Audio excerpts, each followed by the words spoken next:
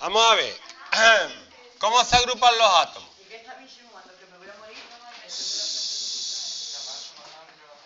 De que te vas a morir estoy seguro.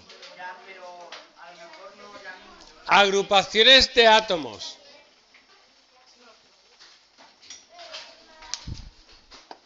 Vamos a ver.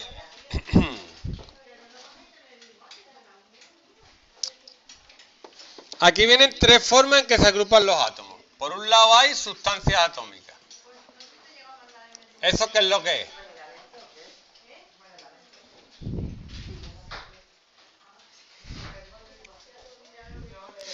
Las sustancias atómicas son los gases nobles. ¿Sabéis cuáles son los gases nobles o no? Pues esos van por separado y forman sustancias atómicas. ¿Vale? Luego están los metales puros. El hierro, el oro, son puros. Y van de uno en uno.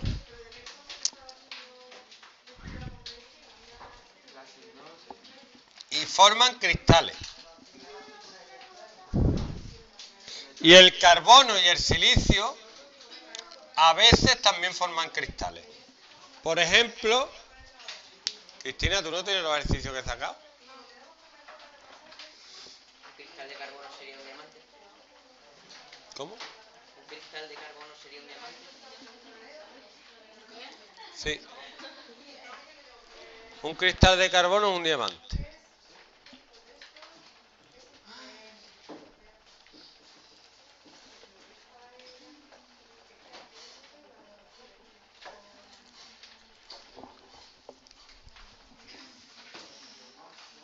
Sustancias moleculares. Las sustancias moleculares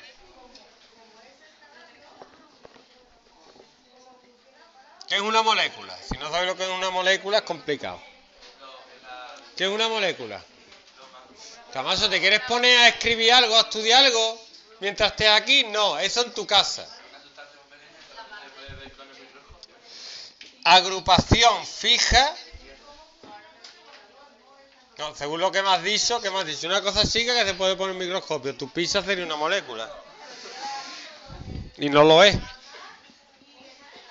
Claro, es que me pone unos ejemplos que... No, es una agrupación fija y estable de átomos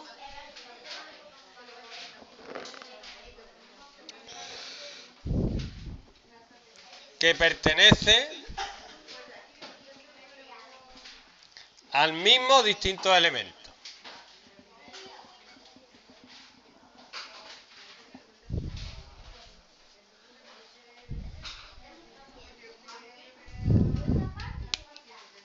Por ejemplo, el oxígeno. El oxígeno siempre va de dos en dos. El agua es una molécula. Dos átomos de hidrógeno y uno de oxígeno. ¿Vale? Luego están las sustancias iónicas. Por ejemplo, la sal común, que es cloruro de sodio, que forma una estructura cristalina NaCl, NaCl, NaCl, forma un cubo, ¿vale?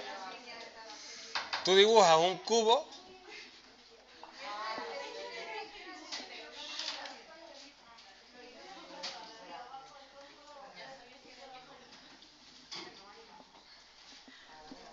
y cada una está en un vértice del cubo, ¿vale? Y esto se llama cristal iónico. No es una molécula. En la molécula, como el agua, la cosa cambia, la estructura es distinta. En la sustancia iónica